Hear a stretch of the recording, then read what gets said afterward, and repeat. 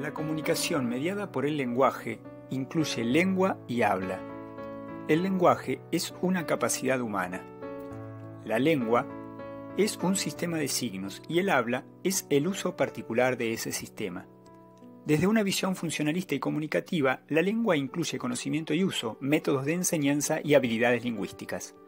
Las habilidades lingüísticas o macrohabilidades se organizan por sus tipos, receptivo y productivo, y por sus modos, oral y escrito. También incluyen microhabilidades.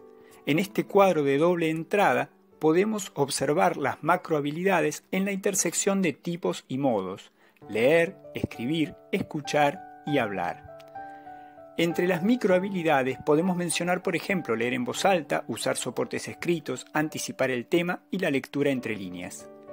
En relación al conocimiento y uso, podemos hablar de las competencias, comenzando con la comunicativa, que incluye a la pragmática y la lingüística.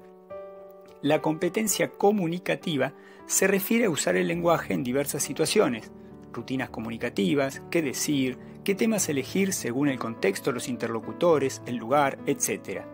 La competencia pragmática es una rama de la semiótica y la lingüística. Refiere a los conocimientos y habilidades no lingüísticos para el uso adecuado de la lengua por un usuario ideal.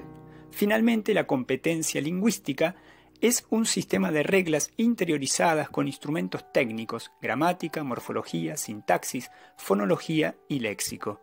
Los métodos de enseñanza propios de esta visión son comunicativos, activos y participativos y contemplan la desigualdad educativa.